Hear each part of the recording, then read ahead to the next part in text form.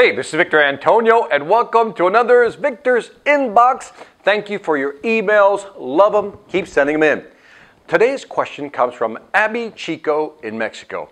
Now, it's a long paragraph, so I'll try to shorten it up. It says, Hello, Victor. I live in Mexico, and our market is full of customers that don't want to pay much. Well, guess what? They don't want to pay much here either, Abby. Uh, they don't want to pay much. They take too long to pay and always ask for things for free. In other words, they always want freebies. How do I make them perceive the value of my product and stop asking for these freebies? There's some other things that she wrote here, but that was the essence of her email. Now, my response was as follows Abby, if you're dealing with price hunters, this is important, price hunters, you'll always have this problem. In other words, people who buy on price will always leave on price. People who only consider price never know the value of anything. Register that. People who focus on price rarely know the value of anything. My suggestion, I wrote, would be to move up the food chain and find high end customers who see the value. See, sometimes we say, I added, sometimes we sell to a lower segment, people who don't have a lot of money, thinking it's easier when in fact it's harder. So, bottom line, refocus your marketing on finding high end clients who will pay your price and will appreciate your value. See, again, too often, we focus on people who don't have money.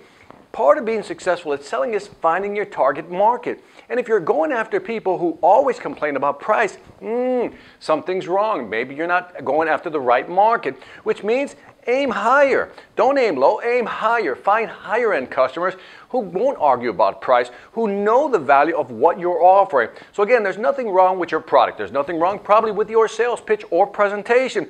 What you are suffering from is bad marketing and bad targeting. So, again, refocus, aim higher, and you'll sell better value. Take care. This is Victor Antonio reminding you selling ain't hard when you know how. Take care. Every manager can feel it. The difference between a motivated, value driven sales team and one that's stuck in a rut. CEOs know the difference too. They can see it clearly in the profit and loss columns. The question is how do you get your team to this elite level? Is there something extra you can do to break through the remaining resistance and equip them with the right mindset to grow your business? Yes, there is. But you're not going to do it with one of those cheesy inspirational speakers or some self proclaimed guru. What you need is someone with a real business track record to deliver key insights in a captivating way, to give your team the right tools for selling in today's tough marketplace. Enter Victor Antonio, experienced executive, innovative thinker, compelling speaker. He's ready to deliver the message you need your people to hear not with a canned speech, but a customized, dynamic keynote designed to deliver results. Bring Victor Antonio to your next event before the competition does. Go to www.victorantonio.com for more information.